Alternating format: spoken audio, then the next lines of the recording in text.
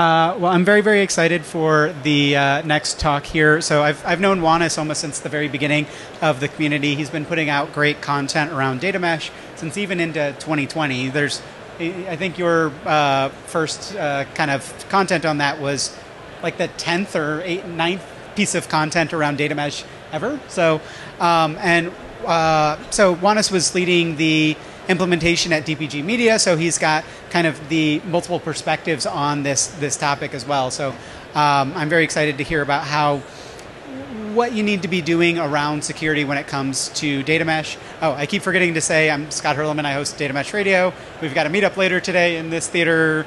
People are interested around data mesh, but um, I, I, I, really uh, trust Wannes to take us through some uh, really important topics because this is something that a lot of people just kind of keep skimming over when it comes to data mesh is security, and this is the thing that's uh, that can really really bite you in the end. So I, I think this is going to be uh, very valuable for a lot of folks out there. That one is you want to take yeah, it?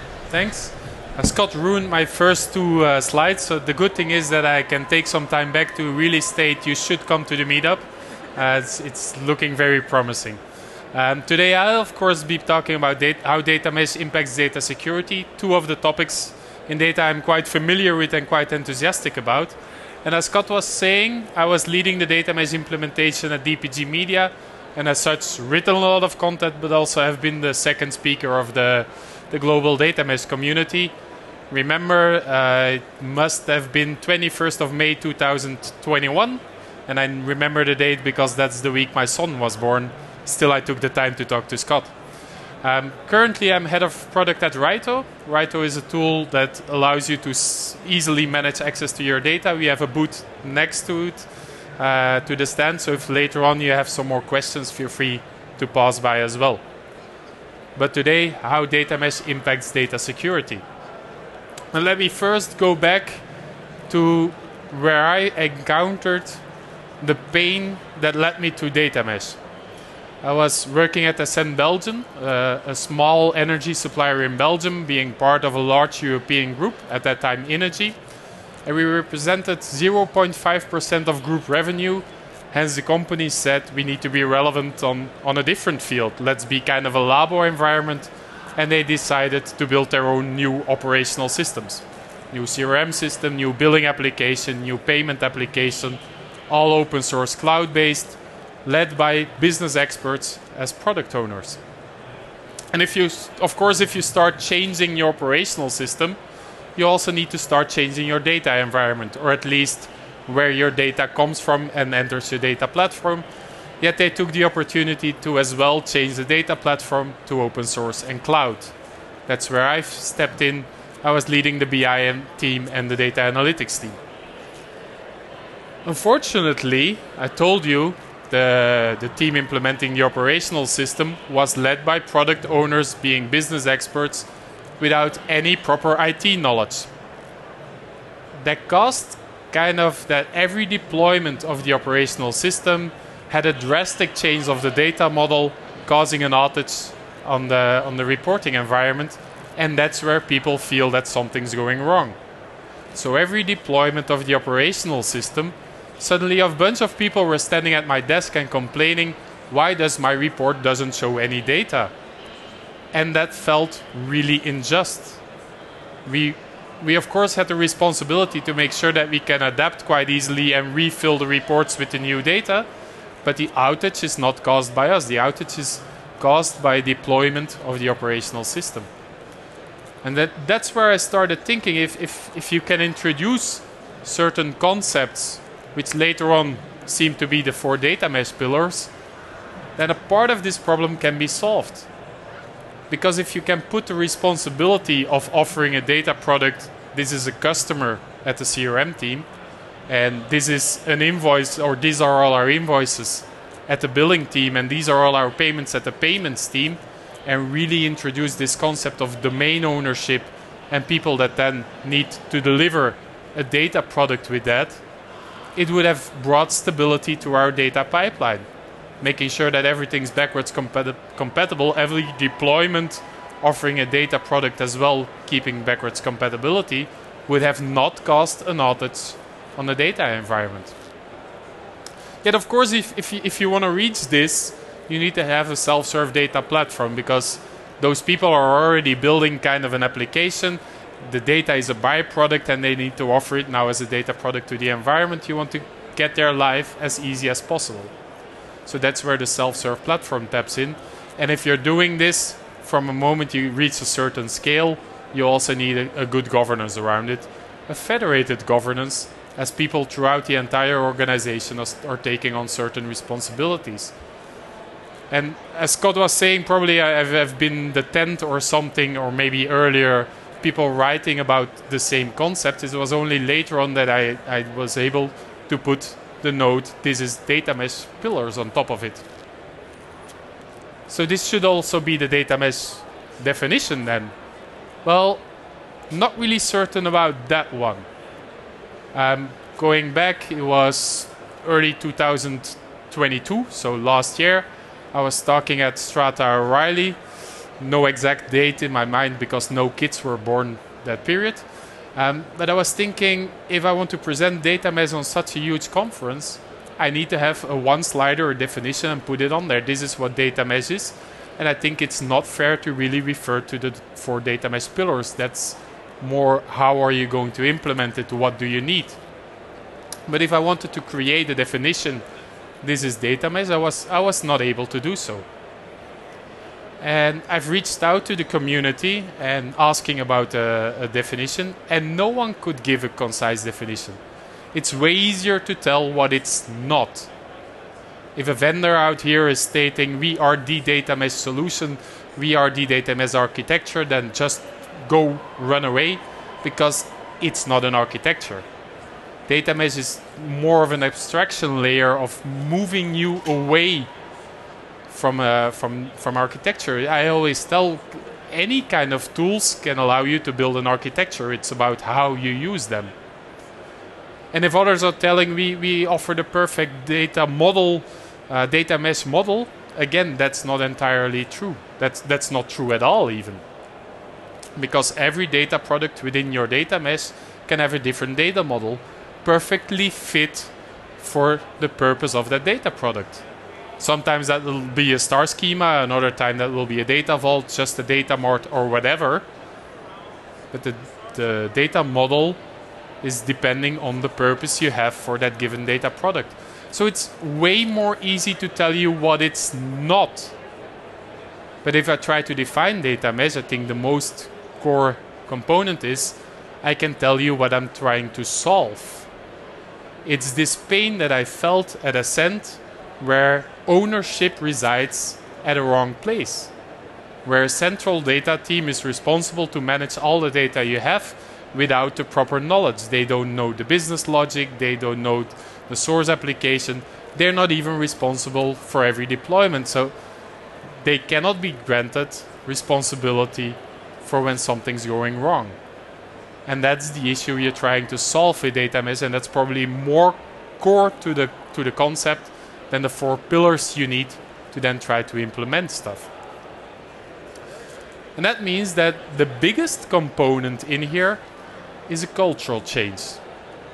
It's pushing the responsibilities left, pushing certain responsibilities to those that own the data.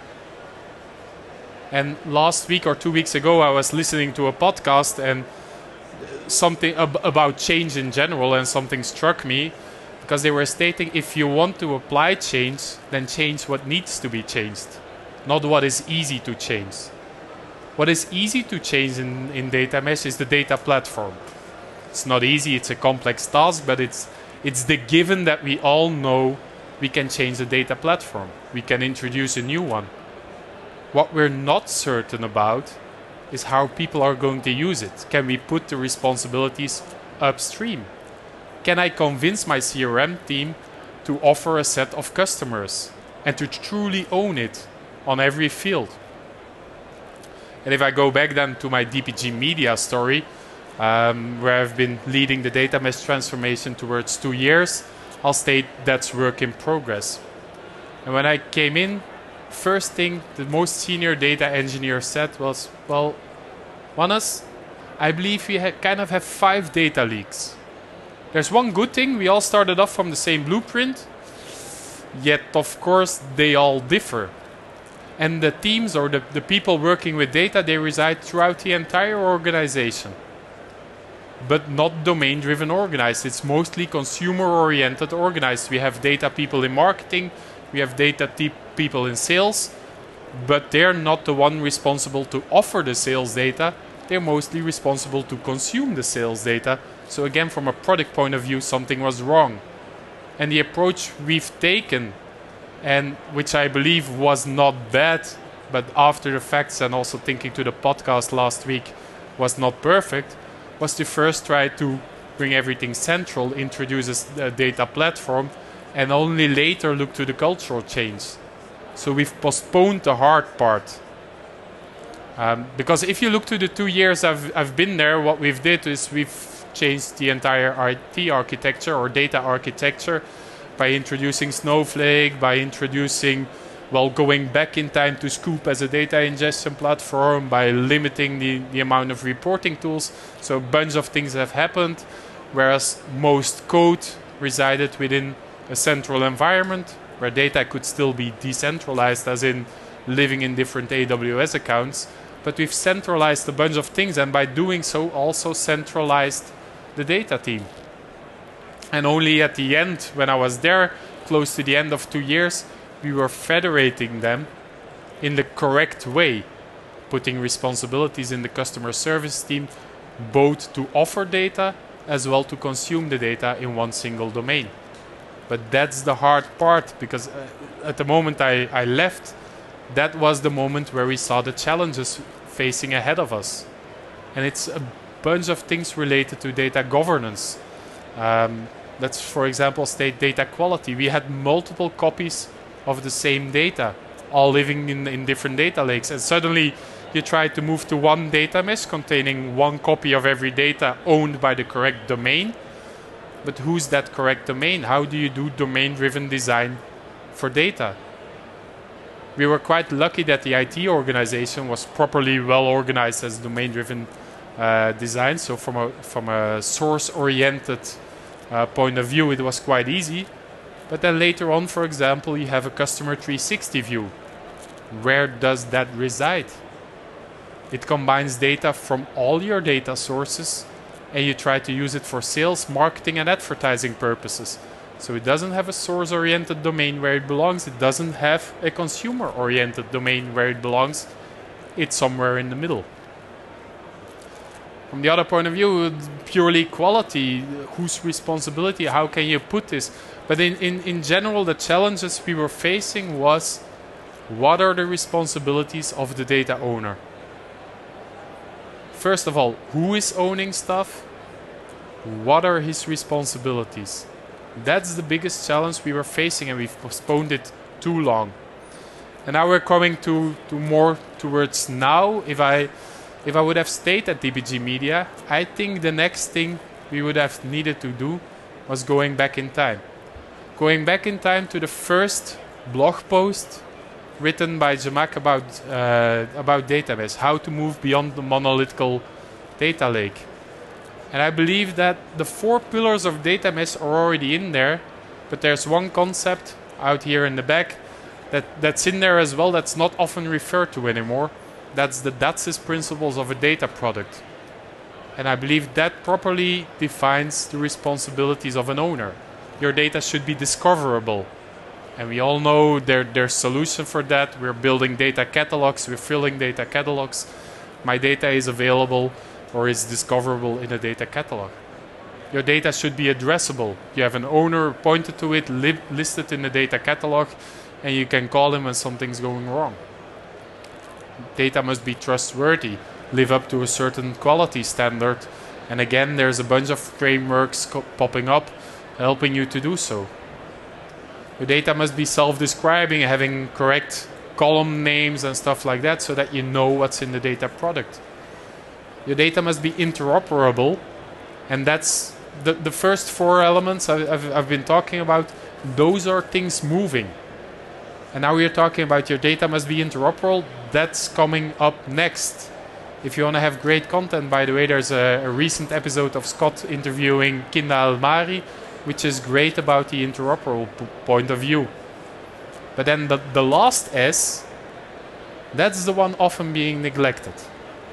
Your data product must be secure. And I was having a short chat with Scott here on stage, and I was saying, Zhamak has never written a lot about it because he took it for granted. Security should be for granted, yet if you look to current implementations, it's often being neglected. So, so how can you cope this around? But going back, what is security? What is data security? Well, data security, looking to the definition, is the process of safeguarding digital information to, throughout its entire life cycle to protect it from corruption, theft, or unauthorized access. Both from a physical point of view, making sure that no one can get to your uh, storage layer and, and steal data, physical point of view as well in cloud that no one can access buckets or, or databases where your data is being stored. But also from another point of view from a more digital point of view making sure that only authorized people can access the data. So that you can protect it from corruption so to make sure that you keep the qualitative metadata if it's created by someone knowing the data that it's not being altered afterwards that you can make sure that it's uh, in, it integrity is being protected. Prevent it from theft so that it's always available. I know it's there, I can find it when I need it, so I don't need to store a copy um, because I know where it is. And I can protect it from unauthorized access to make sure that I know it's already there. And, and that's more towards confidentiality, towards privacy. And often people are intermingling the, the words data security and data privacy, but it's not entirely true. Privacy is only a subset of data security. And if you look to the definition of data privacy, certainly in a lawful setting or, or a GDPR setting, well, then data privacy means empowering your users to make their own decisions about who can process their data and for which purposes. So, privacy is only a subset of data security, and it's more in general about the lawful po- point of view. And it's the part where you can be transparent about. And by the way, I believe that will be the next battlefield, or, or more or less the next competitive advantage. Customers do find data privacy more and more important. And if you can be transparent on which data you have and what you're doing with it, um, then probably the customer will trust you more and trust you to provide his own data. But it's also about data minimization. I only capture the data that I need, or I only use the minimal set of data uh, for the purpose I currently have. So it includes also masking policies, for example, or, or only granting access to a subset of data. And about purpose limitation, and there that means you should have a clear overview of all the purposes you have, uh, all the purposes you apply to your data. But what then about data governance? Because a bunch of things I told or in your data governance project, no, that's indeed true. The data governance project is often trying to apply certain things towards data security, towards data uh, data privacy. And if you see, and coming back to the DATSIS principles of well, where does a data governance project start? Well, quite often, first the cataloging, making sure that it's discoverable, making sure that we have a list of all data that's there.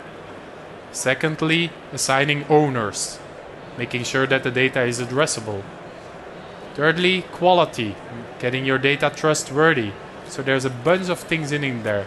And then somewhere along the road also by the way data lineage, which data depends on which on what. And I said currently a lot of discussions about interoperability. How can I make sure that data can always be connected? And, and that's a hard problem. Coming back to my time at DPG Media, for example, we had newspaper subscriptions, which by default you as a person buy a subscription and you read it. Next to that, we also had a video streaming service where um, your subscription is actually a household and it's and you have profiles underneath that are watching. So if you, if you want to combine from an interoperability point of view subscriptions, well then you need to combine a household and a person. But if you want to do this, who watches what and who reads that, you need to be on a different granular level, having different data products, for example, as well. And again, what I believe will be next in the in those data governance projects is this data security. But if if you want to do this and put all those responsibilities at the owner, you need to decide what's there. Because if you're making an owner responsible for metadata management, filling your catalog, thinking about interoperability, but also putting security in there, it's quite a lot of responsibilities.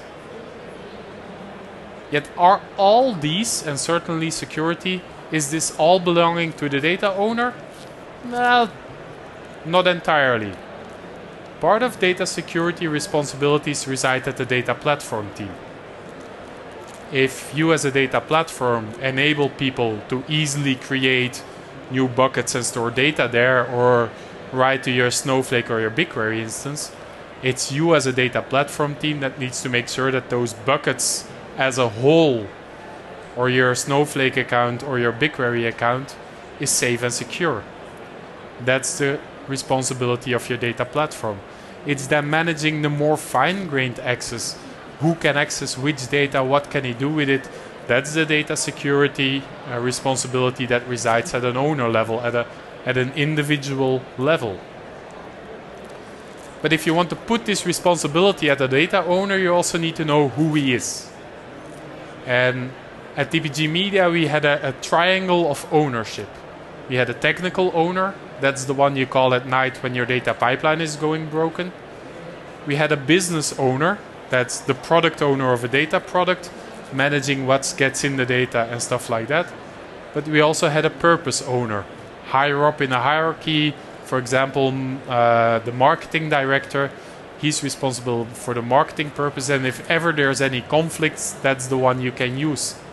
If i'm now talking about the data owner it's this product owner of a data product that also gets the responsibility of managing who can access my data.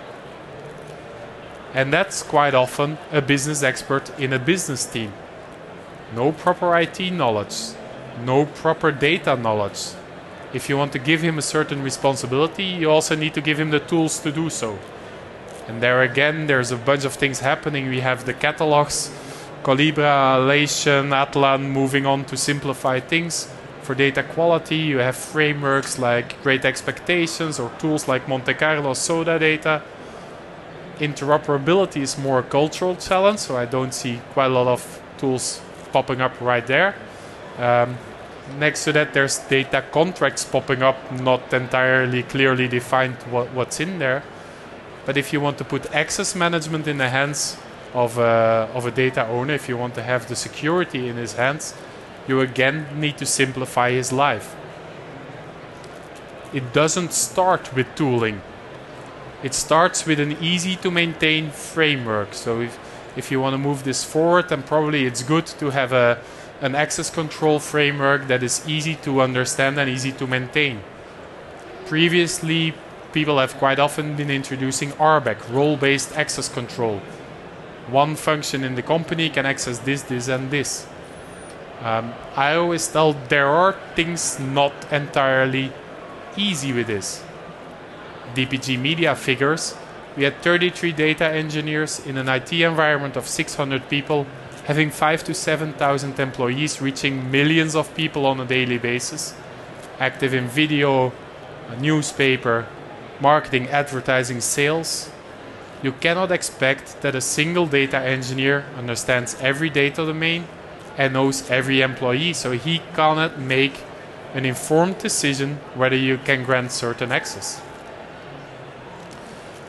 There's also been attempts to attribute-based access controls, ABAC, but there you need qualitative metadata. So I believe there's something in the middle that can, can help people. It's PBAC or purpose-based access controls, because it's a natural separation of concern with regards to data security. You have the data product owner who knows his data, who's only responsible to make sure that he can uh, decide for which purposes are you allowed to use my data. And later on, you have either a purpose owner or even maybe a hierarchical manager who can decide this, uh, this person can access a certain person. So suddenly, someone who knows the data manages one part, and someone who knows the, the people manages the second one, and that's an access control framework that's easy to manage. And if you have the framework, only then you can start thinking about tooling. Um, and for example, if you have a, a, a, request framework and the responsibility resides at the owner, you cannot expect him to change Terraform scripts or not even update SQL statements. So you need to give him an easy to use interface where he can manage access towards his data. So what you see here, for example, is how you would have a request state, I want to have access to this data for this purpose and purpose-based access control. And if I approve, I automatically implement and everything gets updated. But if you simplify things, there's again a new risk. If you simplify giving access to people, then probably everyone can quite easily get access to everything. So you also need to monitor what's going on. Are people actually using the access they have? Am I adhering to least privilege principle, the data minimization, the purpose limitation? Am I adhering to those? And not only giving the insights upon that, but also the actionability. Um, one of the things, for example, you'll, you'll always notice in access management uh, with a high risk on data security is that data engineers have admin credentials to the entire production environment. And if they're getting breached, you kind of have a big problem. So what we could also do here, and, and allowing the data owners to do so, is introduce the concept of pre-approved access. Yes, dear data engineer, you can get access to everything, but only on the moment you need to. And if you need to, because something in production goes wrong, you request it, it's automatically approved. It has a time bound, it's only there for two hours, three hours. And if everything's fixed, then it gets revoked, making sure that you minimize the blast radius, making sure that you get an increased data security. So, yes, there are people that need to have access at every given moment in time, but keep it as short as possible. Again, the purpose is to fix something when something's going wrong, so you only need that for a certain moment in time. Just to, to wrap up, so if you look to data security, there's data security with a subset of data privacy. It should move left just as a bunch of other responsibilities. Not everything. A part of the concept, a part of data security is the responsibility of your data platform but managing it on a lower level, that's the responsibility of the owner, which is probably a lesser technical skilled person. So you need to equip him with the right tools so that he can perform his job and to equip him as well with the right insights so that he can really safeguard his data environment. I'm Wannes. I'd love to thank you for your attention as well. If there's any questions, feel free to reach out to me. Feel free to come visit the booth we have exactly next to this. And again, I'm looking forward to also meet you at the meetup tonight.